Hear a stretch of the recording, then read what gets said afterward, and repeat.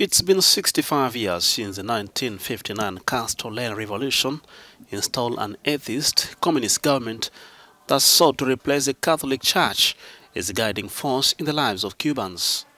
But now religion seems to be everywhere with many Cubans adopting and believing in more than just one religion. It's all about religious freedom that has caught up with almost everyone. Ramos Suarez the Chancellor of the Archdiocese of Havana says Cubans believe in everything, and that includes religion. Cubans are believers, but sometimes they believe in everything. Cuba's constitution includes provisions for religious freedom and bans religious-based discrimination. Here, it's common to find people belonging to more than just one denomination. In Cuba, it's not uncommon that someone goes to meet Babalao, the Santeria high priest, in the morning and can visit a Pentecostal temple in the afternoon and at night goes to Mass and doesn't see any type of conflict in his spirituality.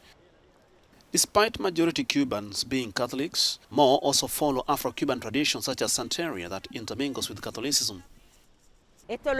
We have made this offering years after year. In the 59 years we have been celebrating with the saints.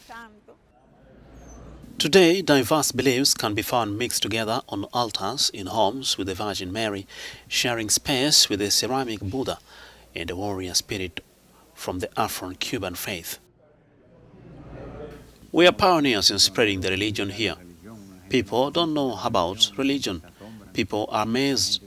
People have a bad impression of Muslims. They fear that we are bad or even terrorists until they meet us and learn about the real practice of our religion.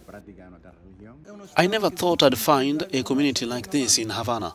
Arguably, the most popular religion in Cuba is Santeria, which fuses Catholicism with Afro-Caribbean traditions. Santeria was born as a form of quiet resistance among Cuba's black communities. It dates back centuries to when Spanish colonists brought hundreds of thousands of enslaved Africans to Cuba, many from Yoruba tribe of Nigeria.